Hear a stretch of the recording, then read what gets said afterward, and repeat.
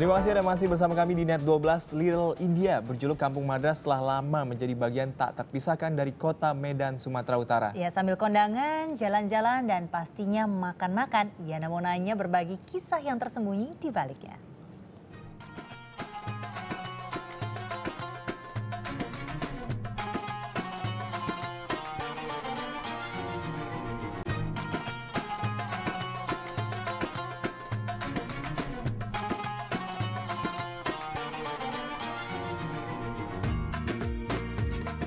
Namaste.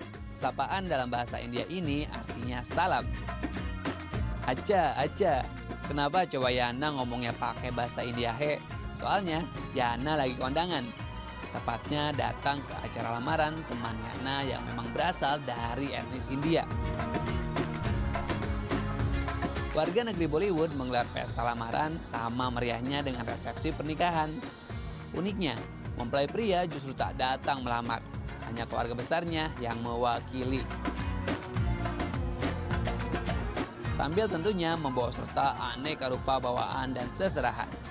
Mulai dari beragam kebutuhan sehari-hari calon istri dari ujung rambut sampai ujung kaki sampai bermacam kue dan buah-buahan. Asik. Eh, tapi kan bukan buat Yana ya. Karena Yana di sini sudah dianggap keluarga sendiri, Yana dapat torehan bindi di dahi. Tak sekedar aksesori, bagi masyarakat India, bindi bermakna spiritual. Maknanya sebagai cakra keenam. Pakai bindi, Yana jadi tambah ganteng ya. Makin mirip Sahrukan kan? Saat ini saya tidak sedang berada di Bombay ataupun Delhi, melainkan masih di Indonesia, tepatnya di Sumatera Utara, tempatnya lagi di kota Medan. Lalu kenapa ya bisa ada sensasi India di kota ini? Ya nak mau nanya. Ya, tepatnya di Kampung Madras. Area seluas 10 hektar di antara kecamatan Medan Kolonia dan Medan Petisah. Kawasan ini sejak lama populer dengan sebutan Lidl India. Alasannya tak lain karena penghuninya warga keturunan India dari hasil Yana nanya-nanya, ternyata nenek moyang etnis Tamil datang ke Madras pada abad ke-18. Koloni Belanda membawa mereka untuk jadi pekerja perkebunan di Indonesia.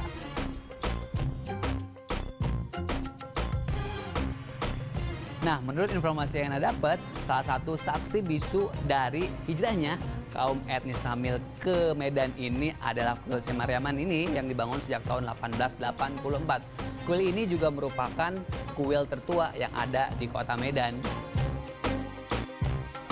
Di kuil inilah orang-orang Tamil India Madras sejak dulu beribadah. Satu hal yang langsung menarik perhatian Diana, unik arsitekturnya. Desain gerbang misalnya, berhias kopuram atau menara bertingkat. Ornamen khas kuil-kuil Hindu di kawasan India Selatan. Gimana yang bisa tahu? Soalnya Diana nanya sama Pak Chandra salah satu panita di kuil ini. Sudah sejak lahir dia tinggal di kampung Madras. Proses akulturasi dengan warga sekitar sini seperti apa Pak? Kalau kami khususnya di kampung Madras ini hmm. cukup berat gitu, hmm. nggak ada masalah. Sebabnya kadang-kadang kalau kita melaksanakan satu upacara besar di kuil ini, saudara-saudara kita yang bukan Hindu pun datang membantu, banyak dari hmm. Muslim, hmm. dari Kristen, dari Buddhis, hmm. dari Konghucu, hmm. dari Katolik, hmm. itu saling saling membantu gitu, nggak ada masalah. Nggak ada masalah ya, ya Pak. Masalah. Kedua, kita dengan pemerintah pun nggak ada masalah. Hmm.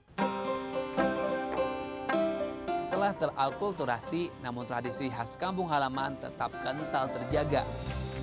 Pada beragam sendi kehidupan, di berbagai sudut pemukiman, untuk dapatan komunitas penunjangnya, tak perlu repot mendatangkan jauh dari negeri Hindustan. Di sini banyak toko yang sediakan mulai kebutuhan pangan, sandang, juga aneka pernik lainnya. Toko satu ini misalnya, Kasturi mendatangkan barang-barang dagangannya langsung dari negeri asalnya.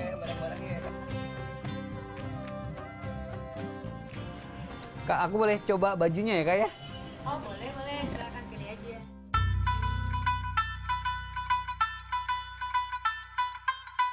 Wah, Kak, kalau yang ini namanya apa nih, Kak?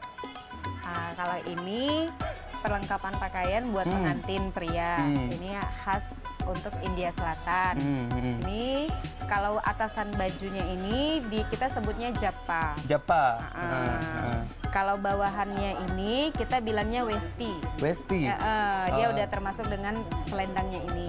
Hmm, hmm. Jadi kostum semua udah siap buat nikah ya, Kak ya? Iya. Jadi saya tinggal cari calonnya aja nih. Berhubung calonnya nggak ada, skip dulu belinya. Makasih ya, Kak ya. Oke. Aroma dan cita rasa India juga semerbak di seantero kampung. Dari kedai milik Pak Raju salah satunya. Halo Pak Raju. Halo, Pak Raju, saya mau nyoba eh, makanan khas India nih Pak. Di sini ada apa aja Pak? martabak India, Apa lagi Pak? roti cane, Iya, apa lagi? nasi biryani. Nasi biryani ada. Ah. Oke, kalau gitu saya pengen pesen nih Pak ya. Roti cane, martabak India, sama nasi biryani. Sama kari ayam Pak sekalian Kari Pak. ayam, oke. oke. Tapi sekalian ikut masak juga ya Pak ya? Ya, ya. Boleh ya Pak ya? Boleh, boleh. Martabak berasal dari kata murtabak artinya terlipat. Martabak racikan Paraju beradonan dasar sama dengan martabak yang banyak terjajah di tanah air, telur dan tepung terigu. Nah, yang khas isiannya tersaji persis dengan di dapur aslinya sana, terdiri dari kentang, irisan bombay, dan daun bawang cincang. Pak, kalau makanan India sama makanan Indonesia itu bedanya apa sih Pak sebenarnya Pak? Bedanya kan Indonesia makanannya tradisional. Nah, Tapi kalau nasional, tapi Ah. kalau India kan tradisionalnya rempahnya kan banyak. nah jadi banyak rempah ya Pak ya? Nah, rempahnya banyak, bumbunya banyak. Jadi Ah, orang paling suka makanan kalau kari apa semua, hmm, makanan India orang paling suka. hmm. Roti prata. Kalau yang ini, cane. Roti berbahan tepung, berbumbu rempah. Nama cane berasal dari Chennai, sebuah kota di selatan India. Roti cane hangat terhidang lezat bersama kari ayam berbumbu rempah pekat. Nah, sekarang roti cane, martabak India sama nasi biryaninya sudah siap dihidangkan. Sekarang masih ada yang mau nanya, tapi nggak tahu gimana nanyanya. Selain aja sama Yana, karena Yana selalu mau nanya. Sekarang Yana mau makan dulu.